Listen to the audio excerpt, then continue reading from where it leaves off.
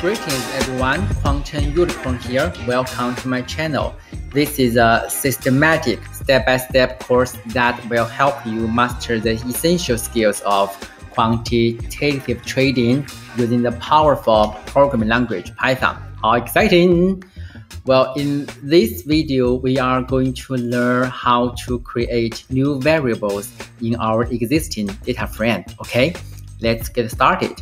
So if you were following along with the last video, this is basically the same Jupyter notebook that I had before. We are importing uh, pandas and matplotlib here. And then we are reading in our CSV file, FB, which is historic data of uh, the stock price of Facebook.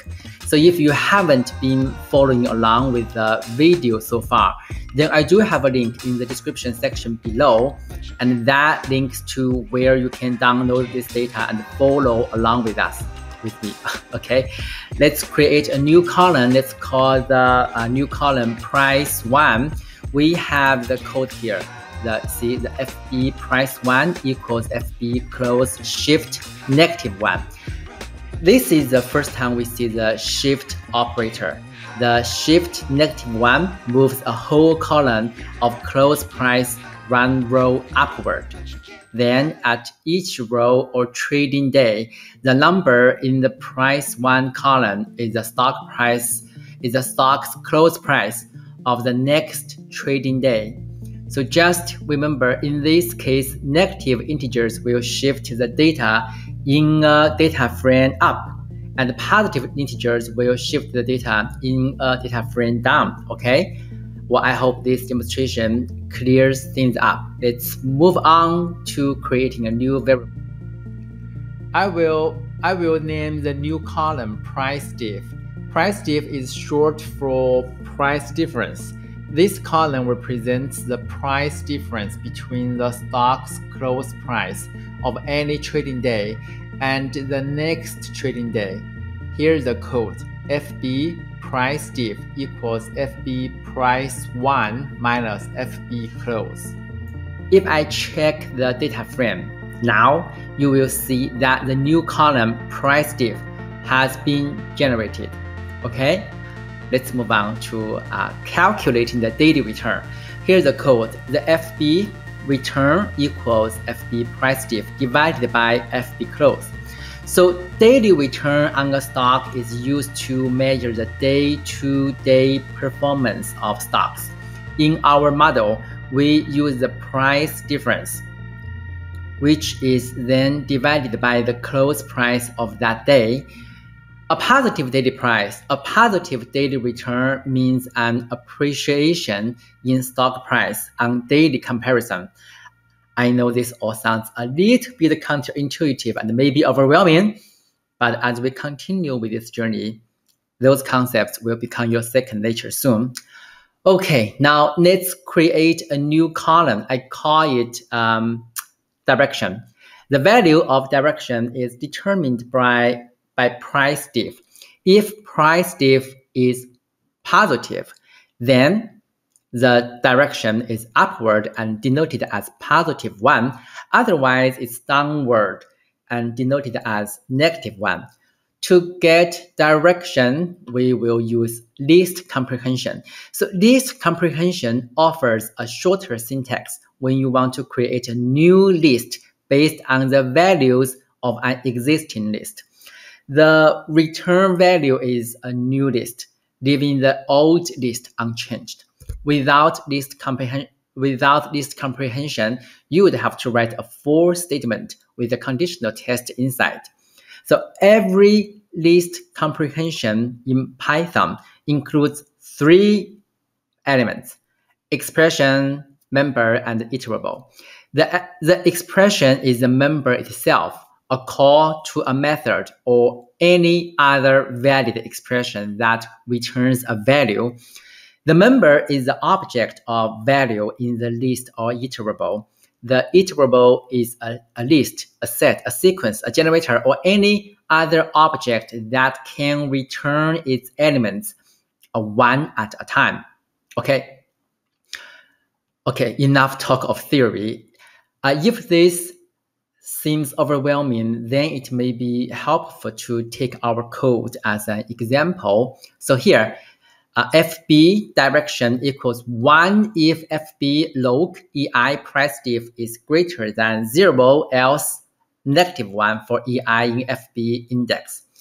This code looks um, quite complicated, but don't worry, I will, I will explain as best as I can. The expression, the, the expression 1 contains a conditional statement, and that is if price diff is greater than zero. This tells Python to output the value of 1 if the number is positive, but to change 1 to negative 1 if the value of price diff is negative.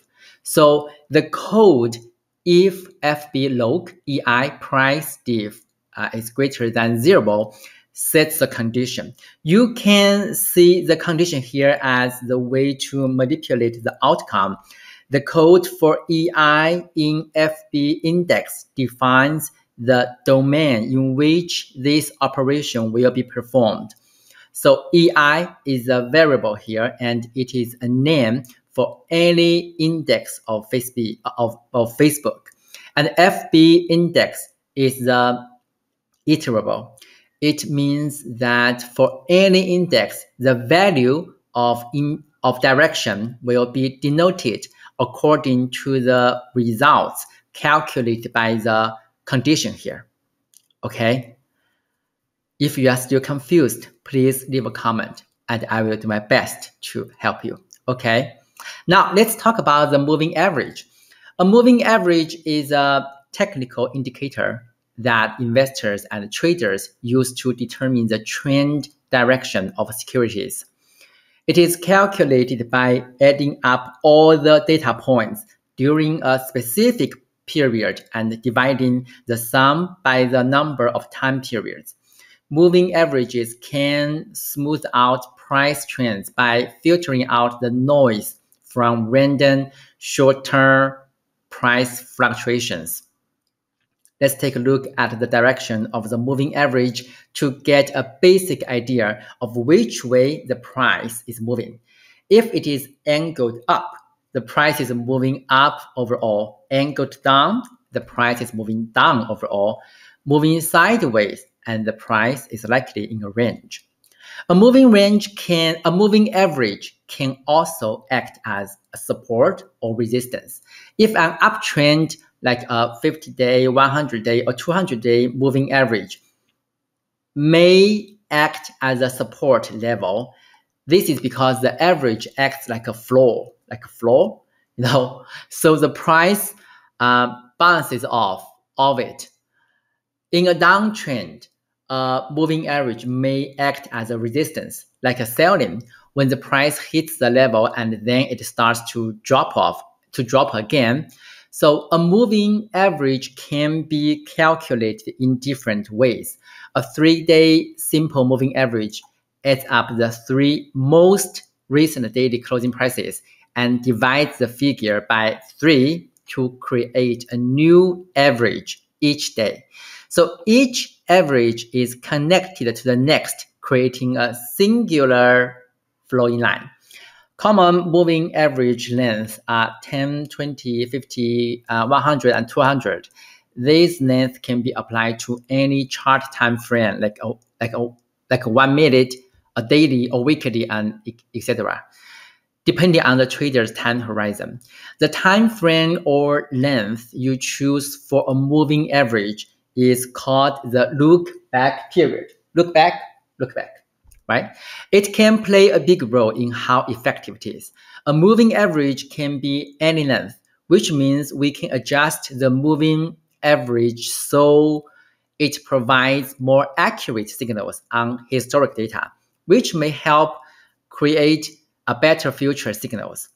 Let's create a three-day moving average. Here's the code.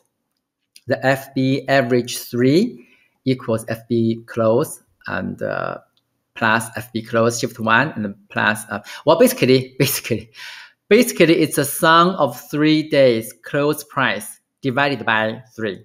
Okay.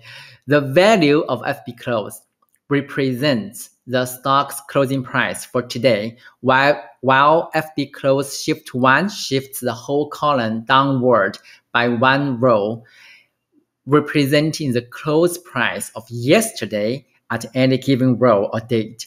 Similarly, FB close shift two uh, shifts the column of close price downward by two rows, resulting in NaN in the top two rows. In Python, when data is missing pandas, when data is missing, pandas returns NaN, not a number into the data frame because we don't have that data.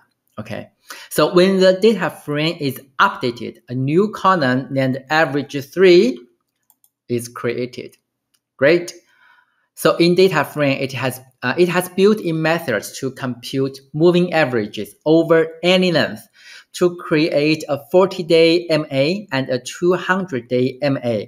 We can use the code FBMA40 equals FB close rolling 40 mean and FBMA200 equals FB close rolling 200 mean.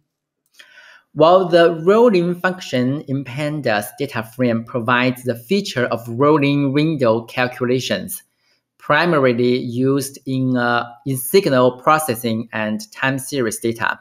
A window of size 40, in our case, uh, a window of size 40 means 40 consecutive values at a time, where all the 40 values are equally weighted. So in our case, the rolling mean is obtained with a window length of 40 observations and 200 observations. Now, if we plot the close MA40 and MA200, we can see that an MA with a short time with a short time frame reacts much quicker to price changes than an MA with a long look back period. Here, look at the chart. The 40 day moving average more closely tracks the actual price than the 200 day moving average. We can call the 40 day MA the fast signal and the 200 day MA the slow signal. The 40 day MA may be of analytical benefit to a shorter term trader since it follows the price more closely and therefore produces less lag than the longer term moving average. And the 200 MA may be more beneficial to a longer term trader.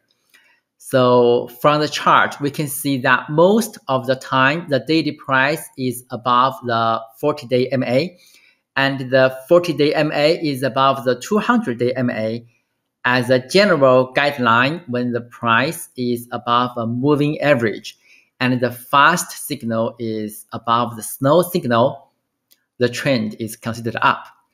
Okay, okay. Well, that's all for today. Just a kind reminder.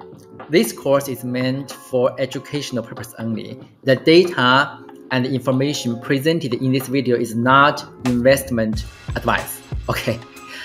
Congratulations on finishing this tutorial. Please like and share the video, subscribe to my channel, and click the bell icon on to receive the latest updates. So if you have any inquiries or concerns, please free uh, please feel free to reach out and leave a comment. In our next video, we will learn how to work with random variable and um, uh, distributions. Okay, how exciting! Well, thank you for your time and I look forward to connecting with you soon. Goodbye.